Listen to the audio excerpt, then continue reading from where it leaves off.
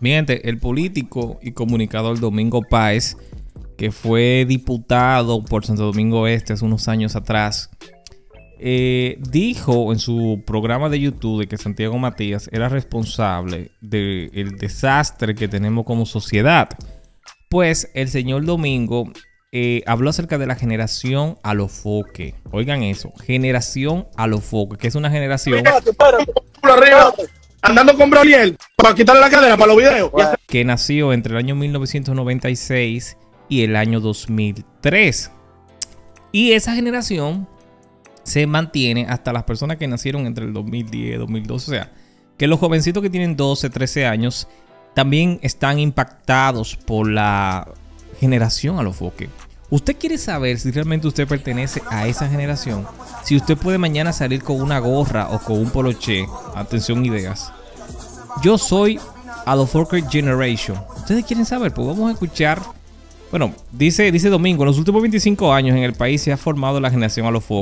Un ejército de jóvenes sin trabajo ni educación, entonces, sin valores, que no entienden las leyes ni ética, seducidos por el consumo de y de aquello, ¿verdad? Y todo lo del mercado para lo que son capaces de todo. Los padres políticos de la generación Alofoque indiscutiblemente son Leonel Fernández, Hipólito Mejía y Danilo Medina. En estos tres gobiernos se formaron. Los que se han salvado se refugiaron en el motos, en el motos concho. Estos gobiernos lo dejaron en el completo desamparo. Eh, la generación Alofoque no tiene ninguna posibilidad de pensar ni de construir ningún freno a sus instintos básicos. Porque no recibieron educación, solo pueden consumir aquello, aquello, entretenimiento, aquello, aquello, alimentos, ropa y juca. Al Estado le es imposible controlarla, ya se perdió. ¿Verdad? Vamos a escuchar a ver si tú perteneces a esa generación o no. O sea, y, que, y que dependas a esa generación, tampoco te, te puede hacer sentir mal, porque no importa, no te sientas mal trata de mejorar. Vamos a escuchar a Domingo Páez, mi gente. Domingo Páez, el periodista. Pero eso es a nivel universal. En República Dominicana se ha definido una generación que le podríamos llamar la generación a los foques. Wow. ¿Por qué la generación a los foques? A los foques. Porque la simbología de alofoque en República Dominicana significa desprecio por la norma. Oigan eso aproximación al consumo. Hay. Devoción por el, el entretenimiento permanente. De luna, de, Ausencia de controles en los consumos. Sí, porque usted puede consumir, pero con control. Devoción por el dinero fácil, lo que lo lleva al la y al lavado de activos. Ay, Dios mío. Y que lo lleva también a los delitos cibernéticos. Delitos financieros cibernéticos. Por eso son pocos los dominicanos que no han sido víctimas de clonación de tarjeta, de intervención de su es verdad. cuentas bancarias. mucha gente sí. Que lo de intento de vulneración por vías electrónicas de sus propiedades. Son pocos los dominicanos que no hayan sido o víctimas o intento. Esa es la característica de la generación a los foques. Bueno.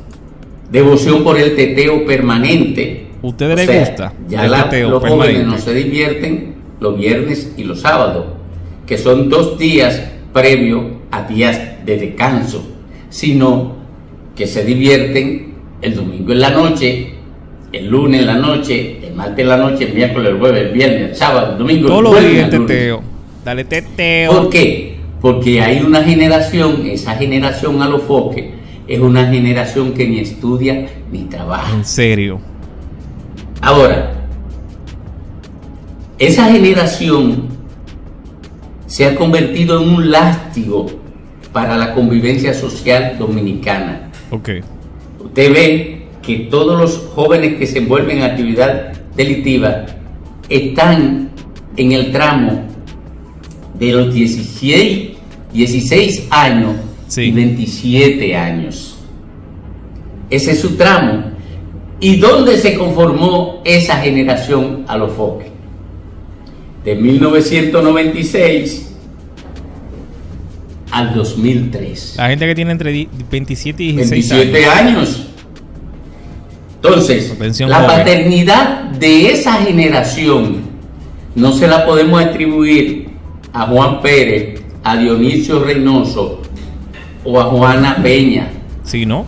Hay que atribuirle la paternidad de la generación a los foques a quienes condujeron el país durante el periodo en que ellos nacieron, durante el periodo en que esos muchachos debieron recibir educación del Estado Dominicano que descuidó la educación. Durante el ¿el cuánto por periodo que esos muchachos debieron encontrar trabajo cuando se convirtieron en adultos y no había trabajo porque los gobiernos, el de Leonel Fernández, el de Hipólito Mejía y el de Danilo Medina, no construyeron políticas para crear plaza de trabajo para la generación que tenía que integrarse a la labor productiva porque Bueno, esa generación como quiera iba a buscar mujer si era varón Oigan eso. y la hembra como quiera iba a buscar hombre si era mujer Claro, aunque sea un bruto, pobre diablo, también lo iba a buscar. iban a tener bebés iban a necesitar dinero para comprar leche para pagar la casa porque no tenían casa propia y el Estado no garantizaba política que le permitiera a ellos llegar a, a tener casa propia. Esa fue una generación desamparada. Y ese desamparo lo convirtieron en seres que eran solamente instintivos, que no podían pensar, distinguir el sol de la lluvia, distinguir la enfermedad de la salud. No podían distinguir la ley en su aspecto de permisibilidad y en su aspecto de prohibición. Libertinaje. No podían distinguir el respeto a la autoridad y el respeto que ellos debían recibir. No podían distinguir en esencia entre lo bueno y lo malo. Y ahora, Ay, frente a la sociedad, lo único que pueden hacer es definir instintos, porque no hay reflexión para distinguir una cosa de la otra. Lo mismo van y atacan a una niña oigan, oigan. que finalmente terminan embarazándola a los 14 y a los 15 años y a veces hasta los 12, que atacan a un policía que intenta someterlo a la norma o atacan a un ciudadano o a una ciudadana para quitarle su cartera o quitarle el celular. Atacan a todo el mundo. Pero lo mismo, le dan un tiro a alguien por el roce de un vehículo que a otra persona porque lo insultan o por lo que sea. Esa es la generación a los foques. Y en los tres padres putativos de la generación a los foques son Leonel Fernández, Hipólito. Hipólito Mejía y Danilo Medina. Muchísimas gracias, señor. Bueno, gracias, papá Domingo, mi gente. Domingo es un gran empresario, también es un comunicador, una persona que tiene unos valores muy bonitos, muy bonitos, mi gente. Claro, está de usted compartirlo. Usted nunca va a estar de acuerdo 100% con él. Yo he tenido mis disidencias, o sea, mis contradicciones con Domingo de manera natural. Pero Domingo es de una generación de comunicadores muy buena. Claro, repito, no tiene toda la razón. La razón absoluta no la tiene. Eh, pero nada, mi gente, vamos a ver. Ustedes son de la generación de Alofoque. Mira, si ustedes, ustedes tienen que cumplir con eso. Ustedes tienen que tener entre 16 años, ¿verdad? A 27 años de edad. O sea, haber nacido entre el año 96 y el año 2003, 2004, 2007, por ahí, tú sabes. Y un futuro generación a los focos. No, generación Byron. Byron Matías. Sería. No, no, Byron es un muchacho muy bueno, mi gente. Muy bueno. Yo, yo en eso, mira, en la educación, a los focos es un hijo de la. Tú sabes. Pero yo no le voy a responder como él se refiere a los demás, porque yo no caigo en eso. A los focos es un maquiavélico. Es un trero.